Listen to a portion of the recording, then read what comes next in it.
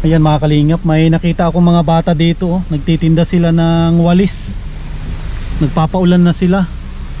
Kasi pauwi na po kami ni Eman. Kaso may nakita po kami na ano Na nagtitinda, nagtitinda sila ng walis tingting. Kawawa, na, kawawa naman yung mga bata. Nagpapaulan na sila. Ito natin sila Eman. Kahit matulungan natin sila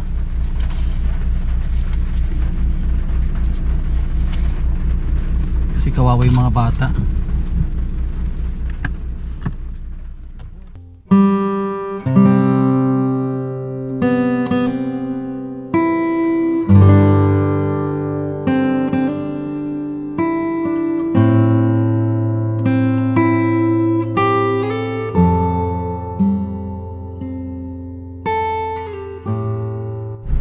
Yan mga kalingap uh, kung natin sila doon doon natin sila kausapin sa may ano sa may silong ng mangga. Kasi kon po dito naulanan yung mga bata. Yan no? Uh, dalawang ano dalawang batang ano? Da, da, parang tawag dito dalaga na ba yun? Tawag doon tawag doon uh, iman? Ano pa lang po yun? parang paslit pa no? Ba mga Paslit batang pa paslit. Dito natin sila ano? Ay dito dito sa ano dito natin sila kausapin. Yan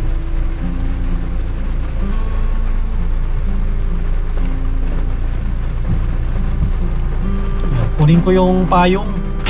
Dito yung payong natin Iman hintayin mo ako dito. Saan ko yung mga bata. Kausapin ko itong mga bata na to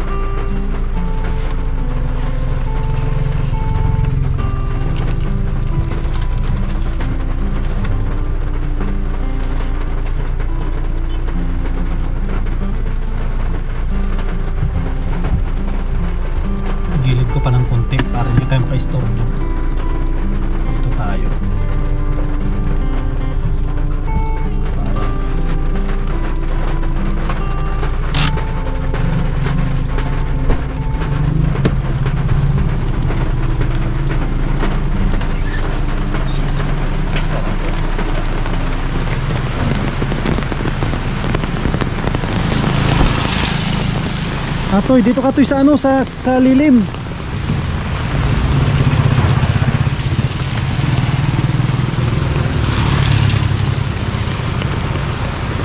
Ito po, ba- ba't ka napag, nagpa, nagpapaulan toy dito ka sa ano sa lilim?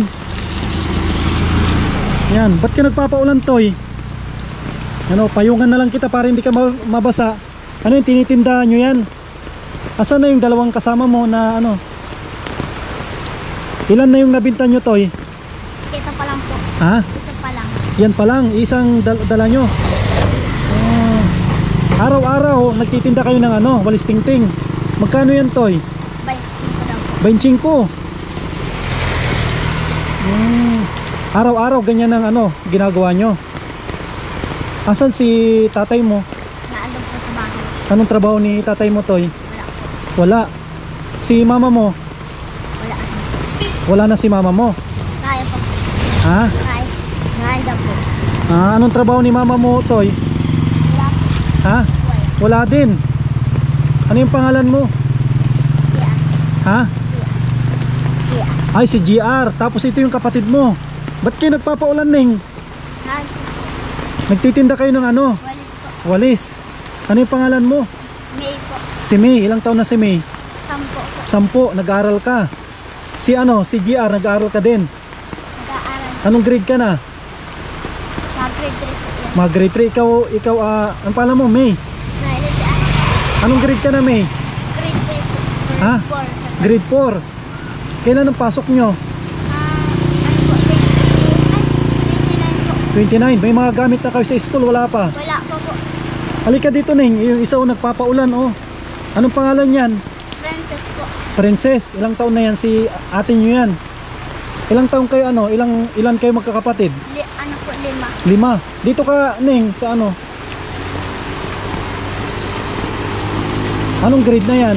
Grade. Ano po? Grade 4 din po. Grade 4. Ba't kayo nagpapaulan, Ning? Makakagusto po kami. Kasi nagtitinda kayo, eh, magkano lang yan? 25. Tapos magkasakit kayo. Hmm. Ikaw si ano, ang pangalan mo ning? Friends. Princess. Ilang taon na si Princess? Eleven. 11. Anong grade ka na ning? Grade four. Grade 4. May mga gamit na kayo sa school? Wala pa? Wala pa. Saan ang bahay nyo dito? Lu sa looban pa. Ah, sino yung hahanapin ko doon, Neng, pag mapunta ako doon? Ano yung pangalan na hanapin ko? Beatrice. Beatrice Apelyido. Pinyos, Pinyos po. Ah, Beatrice Piñosa. Kilala kayo dyan. Anong purok yung sa inyo, Neng? Ha? May papasok dyan. Opo. Ay, sige. Anong barangay na ito? Kabusay po. Ha? Barangay Kabusay. Barangay Kabusay. Anong purok na ito yung sa inyo? Walang purok. Meron po. Purok Bono po. Purok Ono. Sige. Kuha na yan, ah. Bibilihin ko na yung dala nyo. Tapos, uwi na kayo, ah. Tapos sa mga susunod na araw, siguro lunes, ay pupuntahan ko kayo dyan, ah. Huwag kayo aalis. Ilang taon yung panganay nyo na kapatid? Ano po yun? Nasa ano po yun na yun doon? Nasa Tagbalabo na po yun. Nasa? Tagbalabo po. Nasa nag-aaral po. Nag-aaral. Ay, wala dyan sa bahay nyo na. Ilan kayo dyan sa bahay nyo? Apat na lang po. Apat, bali, apat kayong magkakapatid tapos mga magulang nyo. Sige. Ah, bibilihin ko na yan ha, para makauwi na kayo. Tapos, ang gawin nyo, maligo kayo agad ah. Maligo, magpalit ng damit.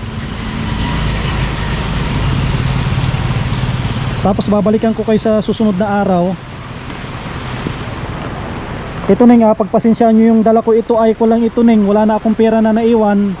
Pagpasensyaan nyo na ito, ito ay ilan yan neng? Kung ma- marunong ka magbilang, ilan yan neng? Bilangin mo.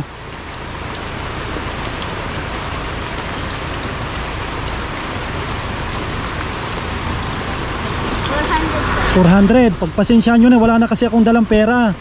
Kung may dala pa akong pera sana, ibibigay ko na lahat. Basta importante, eh, makauwi na kayo na. Tapos mm, pupuntahan ko kayo ah.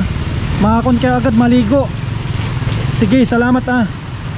Sige na, uwi na kayo ning para tapos yung walis, bukas yung naibenta yan. Salamat. Oh, sige, ingat kayo.